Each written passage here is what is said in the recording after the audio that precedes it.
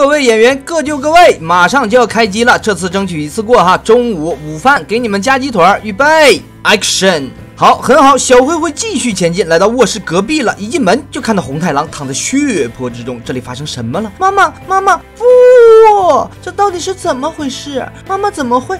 现在怎么办啊？家里好像闹鬼了，好可怕！突如其来的灾祸使小灰灰乱了方寸，接下来怎么办呢？对了，爸爸，找到爸爸，爸爸一定会救我的。不得不说啊，小灰灰其实还挺自立的，面对这样的局面还能冷静分析，寻求解决之法，不愧是要成为海贼王的男人啊！哎，这楼梯上是不是有个泰迪熊，还把路堵住了？一瓶子过去，直接给浇没了。下面好黑啊，看来可以用木炭和干柴火做一个火把了。原来之前拿到的那些道具都是为了进这个。地下室做的准备啊！火光一闪，身后突然出现了一个铁栅栏，小灰灰被困在这里了。一路向下，这里的纸条告诉我们，收集更多的碎片，到一定数目后，那条通往光明的路自然会显现出来。既然已经被困住了，那我们就去找找看吧。先进入左侧走廊，进入中间房间，这里是个谜题。简单说就是除了橙色部分，其余颜色的数字相加，最终得到答案二十一。这个数字就是旁边小盒子的密码，里面有一个碎片，刚拿出来，碎片就消失了。转头来到最里面的。房间简单推推箱子，这个算是个提示吧，D R Y M，但现在还看不出什么来，先记着。这个门还锁着，进不去。转头来到右侧走廊，第一个房间里有个圣母玛利亚的雕像，这地方看起来就不一般啊，踩上去感觉空空的，但没什么反应。算了，先去最里边的房间看看吧。这里的抽屉被上了锁，密码可能和那个 D R Y M 有关。先不管它，这边的抽屉里又有一篇灰太狼日记，迷糊草、风羊菇都齐全了，喜羊羊，哇哈哈哈哈哈。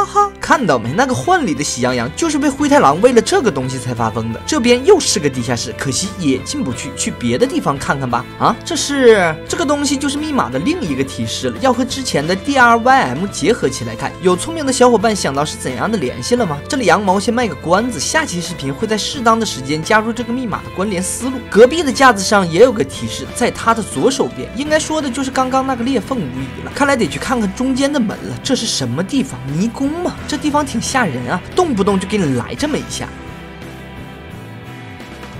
一路贴着墙走，尽头处有一把大铁锤，这样就可以去砸开裂缝了。可返回的时候，貌似出现了一些奇怪的东西，把路堵上了。雕像这个不能砸，我们来想象一下，如果我刚刚用锤子把这个雕像砸开了，那么在我准备出门的时候，这个雕像肯定会追上来给我致命一击。所以这里我们选择不砸开。那我们怎么出去呢？根据地上的血迹，我们可以来到这样一个地方，这里有一个碎片，再回去路口就会发现这里能过去了。嗯，这边好像本来就没堵着吧？妈。谁知道呢？忘了看了。手持大铁锤，雄赳赳，气昂昂，八十八十锤大枪，没两下地面就被破开了。里面是把小钥匙，去隔壁打开地下室铁门，里面只有一个碎片。呃，这段属于纯收集啊，一点剧情也没有啊。行吧，其实通道下面还有个房间，为了推进剧情，我们下期再进去。好的，小伙伴们，本期视频到这里就结束了。哦这里是羊毛君，关注我，去发现更多好玩有趣的游戏。